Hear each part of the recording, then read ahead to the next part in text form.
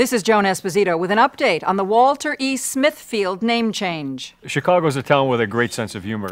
We knew everyone would get this joke. So it appears that Wrigley Field will remain Wrigley Field. You know, as a Chicago business, we wanted to give back the best way we could, and that was by supporting the Chicago Cubs. I think Harry would have loved this prank from Walter E. Smithe. Thank you, Chicago, for being such great sports. Wrigley forever. Happy April Fool's Day. This is Joan Esposito reporting. That's Smith with an E.